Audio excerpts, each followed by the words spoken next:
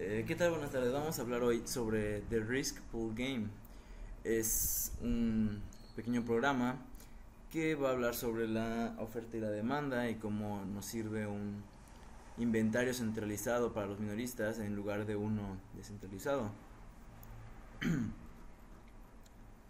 la parte de arriba del programa podemos apreciar la, el inventario centralizado eh, es una simulación de un sistema de inventario centralizado, mejor dicho, donde un almacén sirve a tres minoristas, mientras que en la parte de abajo podemos ver un sistema descentralizado donde tres minoristas mantienen un inventario separado por proveedores independientes.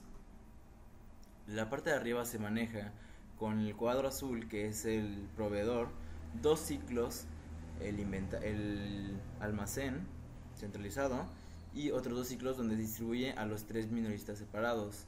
En la parte de abajo se maneja con el proveedor cuatro ciclos este, independientes y los tres minoristas.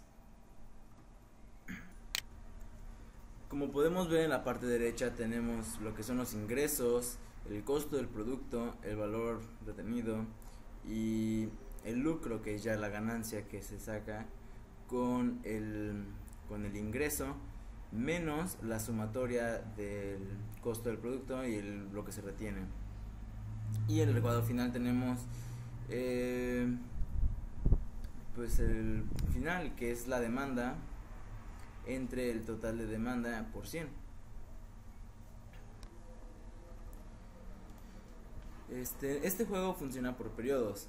El, el que trae por default y que vamos a probar es vamos a probar nosotros por 30 semanas teniendo en cuenta que la demanda promedio va a ser de 25 unidades y que la desviación estándar va a ser de 10 unidades.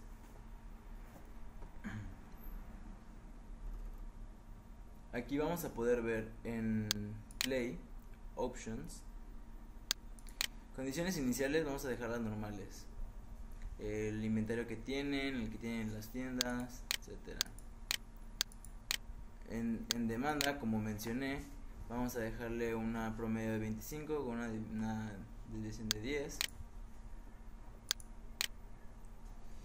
Y costos. Aquí vamos a poner que el, que el costo por ítem sería de 20 unidades, no vamos a decir ningún sistema monetario.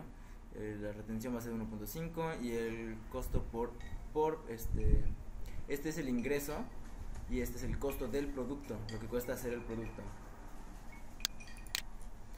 Ahora, para que funcione esto ya está todo este dado, este, cada quien tiene los iniciales que ya se hayan marcado anteriormente y vamos a ver la diferencia entre un sistema centralizado y uno descentralizado.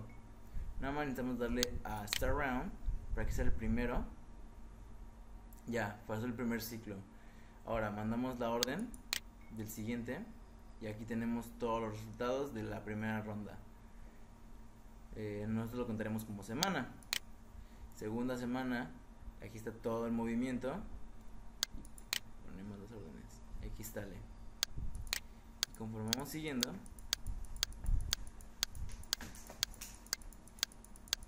podemos ver cómo van los cambios con el transcurso de las semanas hasta las 30 que dijimos que vamos a hacer.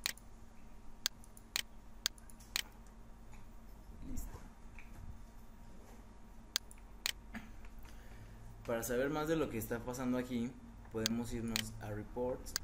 Y aquí tenemos un reporte de las órdenes en el transcurso de todas las semanas.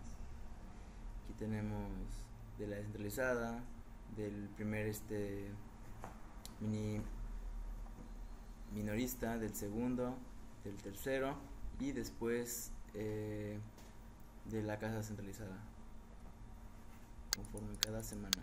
Ahí está semana 1, semana 2, 30. Esta es la demanda de cada uno de los tres minoristas.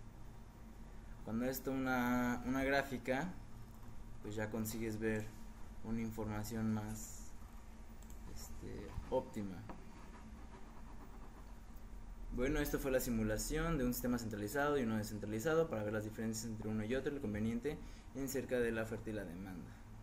Para más cosas, este se pueden ir ustedes a la opción de Help y aquí tienen todo el contenido con toda la ayuda necesaria, un índice y un buscador.